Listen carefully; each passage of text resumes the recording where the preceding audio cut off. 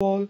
In the second part, we discussed about the generations of firewalls. And in this part, we will be discussing about different types of firewalls that are available in the market.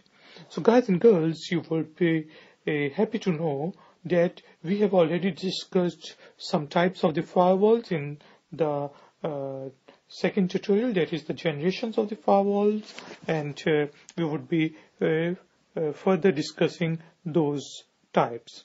So first type of the firewalls are called packet filters and we have already discussed that there are two types of packet filters. Number one are the stateless packet filters that were introduced in 1980s and they only checked the authenticity of the packets.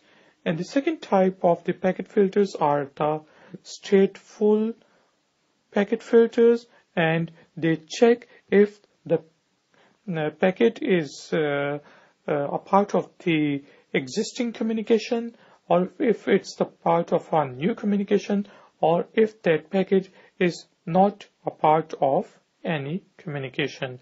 And based on uh, the, these three states it can decide what to do based on the predefined rules. And the second type of the uh, firewalls which we have already discussed in the generations of firewalls is called the application layer firewall. So application layer firewall uh, mostly works in combination of packet filters, especially the stateful uh, packet filters, and it works on the application layer of the firewalls, and it can uh, basically uh, uh check the authenticity of the packets, the connection status, and the ports or ports and the protocols of the packet and if those ports and protocols are allowed then application layers uh, for filters would allow the packet to either enter into our system or the network or to go out to the internet. And uh, the third type uh, of the firewalls which we would be discussing today are called proxy servers or the proxy firewalls. And the fourth type which we would be discussing are called the NAT firewalls or network address translation firewalls. Uh, there are there, there, some people say that there is another uh, kind of a firewall that is called uh, the new generation of the firewalls but I would say that they are just the uh, the newer version of the application layer firewalls and they do the deep packet uh, inspection. So now let's discuss about proxies. So first, let me tell you what is a proxy server. A proxy server, you can think of a proxy server as a server which sits between your local area network and the external WAN or network that or the internet. And all the communication is done via this proxy server. So you can think of it as a um, as a firewall because in this uh, proxy server we can allow uh, the protocols that can be used to, for communication, the ports which are open and which are closed and uh, we can also define different set of rules. We can uh, uh block the websites or different services of the internet based using the proxy servers. And the uh, advantage of proxy server is that if we have got one internet connection and we would like to share it with all the computers on our network, then we can use the proxy servers.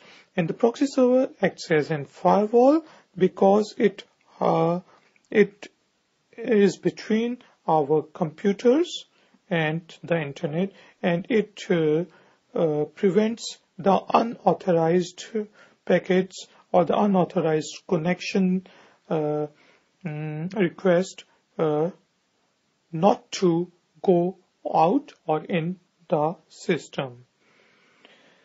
So these are called the uh, third type of the firewalls that are the proxy server.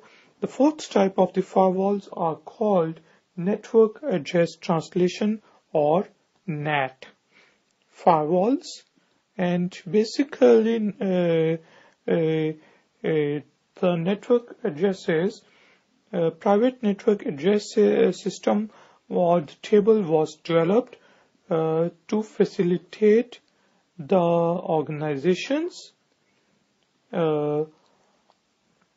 which had a large number of PCs.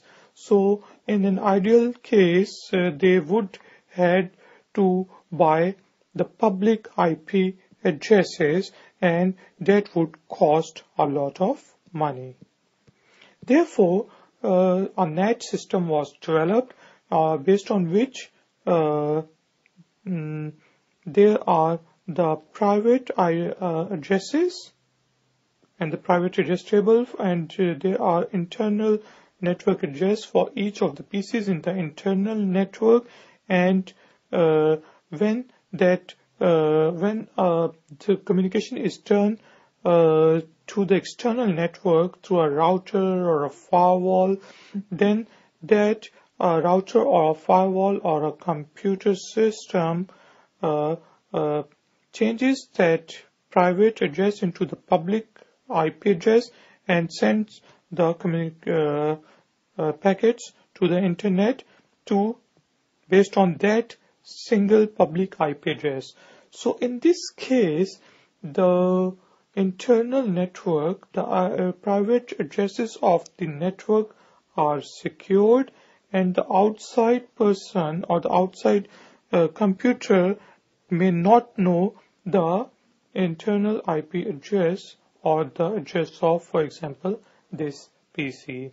So the firewall acts as a bridge. It it screens uh, the private IP addresses uh, to be seen from the external users and it changes those private IP addresses into the public IP address when uh, those IP addresses passes through it and therefore those PCs um, which are our internal on, on our internal network they are secured. And uh, they, nowadays uh, they call a new type of a firewall but it's an older type and it is called new generations of firewall and JF and GF but uh, it's just uh, uh, do the deep packet filtering uh,